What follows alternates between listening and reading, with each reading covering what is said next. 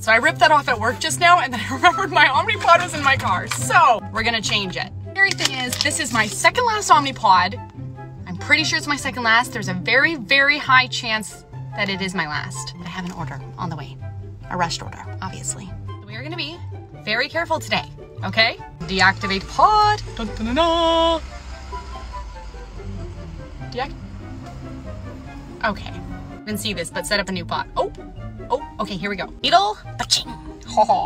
That keeps me alive. I'm also seeing a horror movie tonight, and if I'm scared, I swear to God, it's probably gonna shoot my blood sugars up.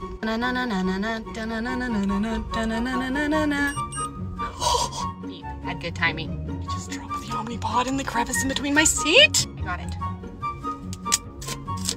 Fourth click, fifth click. Oh, okay, good. Now it better work.